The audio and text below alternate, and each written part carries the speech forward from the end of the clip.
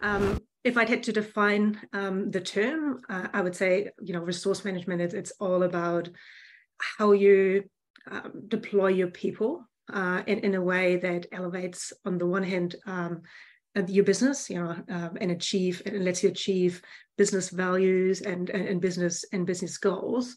Uh, and, and on the other hand, also elevates and, and builds and, and nurtures um, all those people in your in your organization.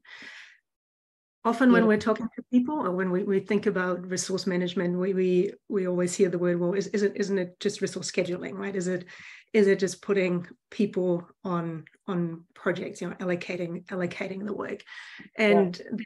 Definitely one one part of the equation right that that's part of resource management but it, it is it is so much more right i think um what we've been seeing, and we'll talk about that uh, a bit more as well, is that kind of been been evolving, and and there is a, a big kind of strategic lens um, to that as well. So um, you need to look at it technically, um, but also strategically. Um, I always say kind of you need to see the forest uh, and and the trees uh, when you're doing resource management.